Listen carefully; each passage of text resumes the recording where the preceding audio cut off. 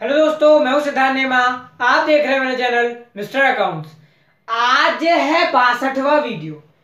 इस वीडियो में हम कुछ स्पेशल पॉइंट्स पढ़ेंगे जो कि इनकम एंड एक्सपेंडिचर अकाउंट बनाने में और बैलेंस शीट बनाने में काम आएँगे। ठीक है? ये देखो donation legacies entrance fee sale of old assets sale of periodicals endowment fund and payment of honorarium देखो, ये जो जितनी भी चीज़ें हैं, ये आपको रेसिप्ट एंड पेमेंट अकाउंट में देखने को मिली, ठीक? इनमें से कुछ चीज़ें आपको पेमेंट साइड देखने को मिली और कुछ चीज़ें रेसिप्ट साइड देखने को मिली, ठीक? अब बात ये आती है कि हम क्या करते हैं मतलब एनपीओ क्या करती हैं? रिसिप्ट एंड पेमेंट के बाद दो दो चीज़ें बनाती हैं। पहला होता है इनकम एंड एक्सपेंडिचर अकाउंट और दूसरी होती है बैलेंस शीट। ठीक, अब अब ये बहुत कंफ्यूजिंग हो जाता है कि इन चीज़ों में से या फिर और भी वो चीज़ें जो कि रेसिप्टेंट पेमेंट अकाउंट में आई हैं, इनमें से किन चीज़ों को यहाँ ट्रांसफ़र किया जाए और किन चीज़ों को यहाँ ट्रांसफ़र किया जाए। ठीक, हम क्या करते हैं? रेसिप्टेंट पेमेंट अकाउंट बनाते हैं, फिर उनमें से जो चीज़ें रेवेन्यू नेचर की होती हैं और बार बार रिकरिंग होती हैं ठीक, उन चीज़ों को हम कहा ट्रांसफ़र करते हैं? इनकम एंड एक्सपेंडिचर अकाउंट में। और जो चीज़ें कैपिटल नेचर की होती हैं, और साथ ही साथ नॉन रिकरिंग नेचर की होती है, उनको हम ट्रांसफ़र करते हैं बैलेंस शीट में। ठीक तो अब हम इन्हीं पॉइंट्स में से ये सात पॉइंट जो कि बहुत इंपॉर्टेंट है, अक्सर आपको ये सात में से कोई ना कोई रेसिप्ट एंड पेमेंट अकाउंट में मिल जाएगा। ठीक है? बाकी जो पॉइंट्स रहते हैं रेसिप्ट एंड पेमेंट अकाउंट में, वो तो बहुत सिंपल टाइप के होते हैं। सैलरी हो गया वेजेस हो गया, ये तो आप समझ जाते कि भाई ये तो रेवेन्यू नेचर के ये तो ऑब्वियस सी बात यही जाएँगी। लेकिन ये कुछ कंफ्यूजिंग चीज़ें जो कि मैं अभी बताऊँगा कि कौन सी, कौन से नेचर की और कहा जाती है। ठीक? सबसे पहली चीज़ डोनेशन डोनेशन देखना दोस्तों, दो प्रकार की होती है। पहली होती है स्पेसिफिक डोनेशन ठीक? दूसरी होती है जनरल डोनेशन। ठीक? देखो, ये जो स्पेसिफिक डोनेशन होती है, ये ये डोनेशन किसी स्पेशल पर्पस के लिए की जाती है। ठीक? जो नॉन प्रॉफिट ऑर्गेनाइजेशन रहती हैं, उनको ये डोनेशन कोई स्पेशल पर्पस के लिए मिलती है। कि भाई ये बिल्डिंग के कंस्ट्रक्शन के लिए डोनेशन है। लो, ये पैसा ले लो, आप बिल्डिंग बना लीजिए। ठीक? ये डोनेशन जो रहती है स्पेसिफिक डोनेशन किसी भी एक पर्पस के लिए। ठीक? कि वे बिल्डिंग बना लो, आप लाइब्रेरी बना लो अपने एजुकेशनल ऑर्गेनाइजेशन में, ठीक? ये, वो वाली डोनेशन होती है, ठीक? जो कि सिर्फ़ एक स्पेशल उसके लिए होती है, ठीक? तो गाइज़ ये वाली जो डोनेशन होती है, वो डोनेशन कहाँ आती है? बैलेंस शीट में आती है, ठीक? ये आती है बैलेंस शीट में। क्यों आती है? क्योंकि ये कैपिटल नेचर की है, इसका रेवेन्यू से कोई लेना देना नहीं है, और ये जो रहती है, वो रिकरिंग नेचर की भी नहीं है। ठीक? नॉन रिकरिंग नेचर की है, वो ज़रूरी नहीं है कि हर साल आए। ठीक? पाँच साल में एक बार भी आ सकती है, या पचास साल में एक बार भी आ सकती है। ठीक? इसलिए इसको बैलेंस शीट में लिखा जाता है। अगर आपको ये रिसिप्ट एंड पेमेंट अकाउंट में रिसिप्ट साइड दिया है तो आप इसको लाइबिलिटी साइड बैलेंस शीट में लिख दीजिए कि ये है डोनेशन ओके अब आती है जनरल डोनेशन क्या ये जो जनरल डोनेशन रहती है, ये बहुत सिंपल टाइप की डोनेशन रहती है, जो कि की जाती है, देखो मतलब क्यों की जाती है। जैसे जो भी ऑर्गेनाइजेशन है ना? उसका जो मेन एम है, जो मेन पर्पस है, जो मेन सर्विस जो प्रोवाइड कर रहा है, वो सर्विस में थोड़ी हेल्प हो जाए, इसलिए वो डोनेशन की जाती है। अब जैसे कि एक हेल्थ ऑर्गेनाइजेशन है, ठीक? हेल्थ ऑर्गेनाइजेशन है उसको मैं थोड़ा सा डोनेशन कर रहा हूँ कि लो आप और अच्छे से चला लेना इसको। ठीक? वहाँ पैसों की कमी पड़े, थोड़ा मैंने डोनेशन दे दिया। ठीक? ये उस प्रकार की डोनेशन होती है। ठीक? जनरल डोनेशन गाइस ये जो डोनेशन रहती है, ये अक्सर लोग करते रहते हैं। ठीक? और ये स्मॉल हाँ ध्यान से समझना इस चीज़ को। जो जनरल डोनेशन होती है ना गाइस ये नॉर्मली स्मॉल अमाउंट की होती है। ठीक? ये देखो, इसलिए ये जाती है इनकम एंड एक्सपेंडिचर अकाउंट में। ये रेवेन्यू नेचर की होती है। लेकिन ये जो रहती है कैपिटल नेचर की होती है बिकॉज़ ये एक स्पेशल पर्पस के लिए डोनेट की जाती है। ठीक, ये हो गई डोनेशन की बात। अब आता है लेगेसीज लेगेसीज का मतलब होता है, ये लेगेसीज एक तरह की प्रॉपर्टी है एक तरह की कैश जो कि जैसे अगर मैं मर गया, ठीक तो जो मेरी, मेरे आगे पीछे कोई नहीं है, मेरी विल के अकॉर्डिंग मेरी इच्छा के अनुसार मेरी प्रॉपर्टी अगर मैं चाहता हूँ कि जब मैं मर जाऊँ तो मेरी जो प्रॉपर्टी है, वो पूरी की पूरी इस ऑर्गेनाइजेशन को ट्रस्ट में दे दी जाए। समझ गए मैं क्या कह रहा हूँ? अगर मेरी डेथ हो जाती है, ठीक, आगे पीछे कोई नहीं है, और मैं मरने से पहले मेरी इच्छा है कि भाई, जब मैं मरूं तो मेरी जो पूरी प्रॉपर्टी है, वो कोई भी पर्टिकुलर ऑर्गेनाइजेशन की हो जाए। तो ये क्या कहलाती है? लेगसीज ठीक, अगर वो ऑर्गेनाइजेशन को इसी तरह की कुछ भी मिला, कोई प्रॉपर्टी किसी व्यक्ति के मर जाने के बाद उसकी पूरी प्रॉपर्टी अगर किसी ऑर्गेनाइजेशन की हो गई तो उस चीज़ को, उस उस प्रॉपर्टी को जो ऑर्गेनाइजेशन रहती है, वो लेगसीज के नाम से लिखती है। ये जो रहती है, वो कैपिटल नेचर की रहती है, बहुत बड़ी अमाउंट रहती है, ये रिकरिंग नेचर की नहीं होती बार बार रिकर नहीं होती। ठीक, ये हो गई लेगेसीज ये जाती है बैलेंस शीट में। ओके अब सबसे इंपॉर्टेंट पॉइंट इंट्रेंस फ़ी देखो इंट्रेंस फ़ी का जो नॉलेज है, मैं वो आपको नॉर्मली जो है वो दे देता हूँ ट्वेल्थ के अकॉर्डिंग और बीकॉम के अकॉर्डिंग देखो, क्या होता है, जो एंट्रेंस फ़ी होती है, वो मैं आपको बता चुका हूँ क्या होती है कि अगर मैं किसी भी ऑर्गेनाइजेशन का पार्ट बनना चाहता हूँ, और उसमें एंट्री लेना चाहता हूँ, उस टाइम एक छोटी सी फ़ीस जो कि मुझसे ली गई, वो होती है एंट्रेंस फ़ी ठीक है? जो एंट्रेंस फ़ी होती है, वो रिकरिंग नेचर की होती है। ठीक? ध्यान से मैंने इस चीज़ को मैं बोल क्या रहा हूँ? ये जो रहती है रिकरिंग नेचर की होती है, लेकिन कुछ इंस्टीट्यूट्स के लिए। देखो ऑर्गेनाइजेशन जो रहती है एलपीओ ये ज़रूरी तो नहीं कि वो एक ही प्रकार की हो। बहुत प्रकार की होती है भाई। कुछ हेल्थ की होती है, कुछ एजुकेशनल होती है, कुछ मंदिर वगैरह होते। ठीक? देखो तो जो एजुकेशनल वाले ऑर्गेनाइजेशन होते हैं, उनके लिए एंट्री होना इंट्रेंस फ़ी ध्यान चीज़ को, जो एजुकेशनल ऑर्गेनाइजेशन होती हैं, उनके लिए एंट्रेंस फ़ी क्या है? रेवेन्यू नेचर की है और बार बार रिकरिंग नेचर की है। ठीक बार बार आने वाली। ठीक तो इसीलिए ये कहा, कैसी ट्रीट की जाती है? रेवेन्यू नेचर की ट्रीट की जाती है एजुकेशनल ऑर्गेनाइजेशन के लिए। ठीक, जो एजुकेशनल ऑर्गेनाइजेशन रहते हैं वो इसको लिखते हैं इनकम एंड एक्सपेंडिचर अकाउंट में इनकम साइड ठीक? और जो कुछ अलग टाइप के ऑर्गेनाइजेशन होती है, जैसे मंदिर हो गया। मंदिर में जो एंट्रेंस फ़ी होती है, वो कैसे ट्रीट की जाती है? कैपिटल नेचर की, ठीक?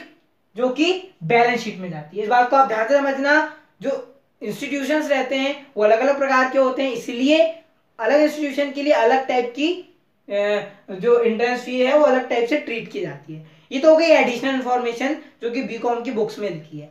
अब मैं ट्वेल्थ की बुक्स के हिसाब से बता दूँ तो ट्वेल्थ की बुक में ये बात साफ़ साफ़ लिखी हुई है कि अगर, ये बात एनसीआरटी में लिखी है, देखो, और एपीसी में, कि अगर एंट्रेंस फ़ी में आपको कोई भी इंफॉर्मेशन नहीं दी रहती है इन क्वेश्चन तो आप क्या करेंगे? इस एंट्रेंस फ़ी को रेवेन्यू ट्रीट करेंगे। ठीक है? हम क्या करेंगे अगर कोई इंफॉर्मेशन नहीं दी तो इस एंट्रेंस फ़ी को एज अ रेवेन्यू नेचर की ट्रीट करेंगे और इसको हर बार इनकम एंड एक्सपेंडिचर अकाउंट में लिखेंगे। ठीक? ये बात जो है वो सिर्फ़ और सिर्फ़ किसकी कर रहा हूँ मैं? जब कोई इंफॉर्मेशन नहीं दी रहती। लेकिन कभी कभी इंफॉर्मेशन दी रहती है कि भैया आप जो इंट्रेंस फ़ी है, उसको आप कैपिटलाइज ट्रीट करो कैपिटल नेचर की ट्रीट करो। तो फिर क्या करना पड़ेगा आपको? क्वेश्चन के अकॉर्डिंग जो एंट्रेंस फ़ी जितनी भी है वॉट उसको आपको कैपिटल फंड में ऐड कर देना है बैलेंस शीट में जाएगी वो। ठीक? समझ गए? अगर इंफॉर्मेशन दी है अलग से कैपिटल की तो आपको उसको बैलेंस शीट में ट्रांसफ़र करना पड़ेगा। अगर कोई इंफॉर्मेशन नहीं दी है तो वो आपकी मर्ज़ी की आपको मतलब हाँ सॉरी मर्ज़ी नहीं। आपको अगर कोई इंफॉर्मेशन नहीं दी है तो उसको क्या करना है? इनकम एंड एक्सपेंडिचर अकाउंट में डाल देना है इनकम साइड में। ठीक? ये होगा इंट्रेंस अब आती है sale of old assets sale of old assets मान लो मेरे पास एक चार हज़ार रुपए का कूलर था, ठीक? एक ऑर्गेनाइजेशन में एक चार हज़ार रुपए का कूलर था, वो कूलर अब मैं बेचना चाहता हूँ, ठीक? और उसको मैंने बेचा छह हज़ार रुपए में, ठीक? चार हज़ार का कूलर था, जिसकी कॉस्ट प्राइस चार हज़ार थी, उसको मैंने छह हज़ार में बेचा। तो देखो, इधर क्या होगा? ध्यान से मैंने चीज़ को। मैंने चार हज़ार का आइटम बेचा, छह हज़ार। तो मैं क्या करूँगा? जो मेरी असट है, जो कूलर है ऑब्वियसली बात है मेरी पिछली बैलेंस शीट में असट साइड लिखी होगी कि भाई आपके पास इतने का कूलर है, ठीक? तो मैं क्या करूँगा? उससे, जैसे मेरे पास कूलर पड़े थे टोटल बीस हज़ार के, ठीक? पूरे बीस हज़ार के कूलर पड़े हुए थे, जिसमें से मैंने चार हज़ार का बेच दिया तो मैं क्या करूँगा? बैलेंस शीट में उस कॉलम से कूलर के कॉलम से चार हज़ार रुपए माइनस करूँगा। छह हज़ार माइनस नहीं करूँगा, सिर्फ़ चार हज़ार माइनस करूँगा, क्योंकि जो कूलर था, वो चार हज़ार का था, जो मैंने बेचा। ठीक? तो जो न्यू बैलेंस शीट होगी, उसमें आप क्या करेंगे? चार हज़ार वैल्यू कम लिखेंगे, क्योंकि आपने वो बेच दिया, है नहीं तो क्या लिख देंगे? ठीक? अब, ये तो हो गई इसकी चार हज़ार वाली बात। अब बात आती है कि जो कूलर था, वो छह हज़ार में बिका है। आपके पास आए हैं छह हज़ार रुपए। तो देखो ध्यान से, हम क्या करेंगे? छह हज़ार आए हैं। तो हम क्या करेंगे? जो छह हज़ार में से माइनस करेंगे, चार हज़ार, कि हमको प्रॉफिट कितने का हुआ? हमें देखेंगे कि हमको जब हम कूलर बेच रहे थे तो हमको कितना गेन हुआ, कितना प्रॉफिट हुआ? हम उस दो हज़ार रुपए को लिख देंगे फिर इनकम एंड एक्सपेंडिचर अकाउंट में इनकम साइड और कैसे लिखेंगे? कि profit on sale of cooler ठीक? समझ गए इस चीज़ को? कि अगर आप चार हज़ार की चीज़ छह हज़ार में बेच रहे हैं तो आप उस असर्ट्स को बैलेंस शीट में चार हज़ार तो माइनस करेंगे ही, क्योंकि आपकी असट चार हज़ार रुपए की कम हो रही है।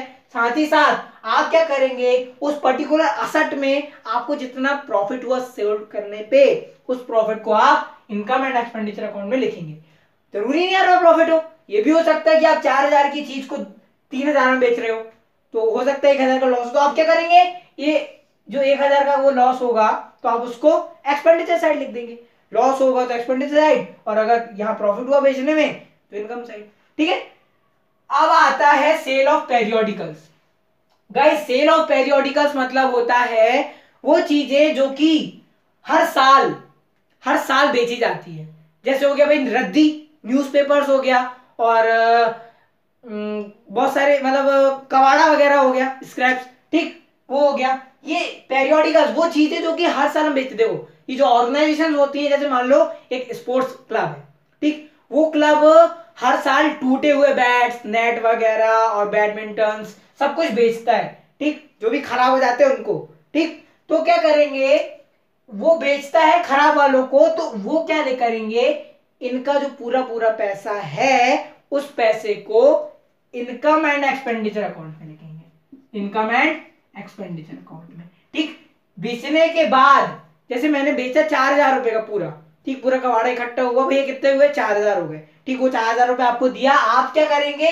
उन चार हज़ार रुपए को इनकम एंड एक्सपेंडिचर अकाउंट में लिखेंगे इनकम साइड किस नाम से?